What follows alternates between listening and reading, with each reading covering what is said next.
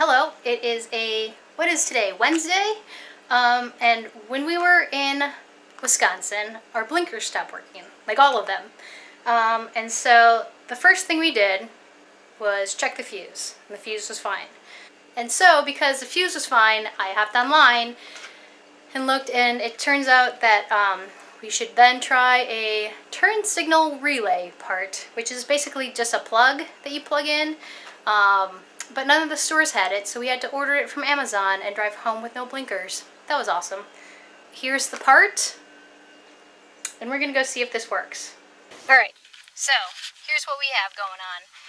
The blinkers are dead. Absolutely nothing. Okay, fingers crossed. Sweet, let's go out and look.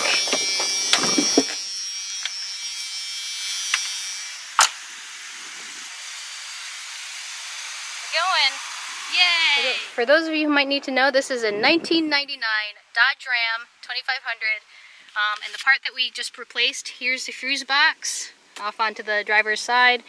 This is the part that we replaced. This is what we pulled.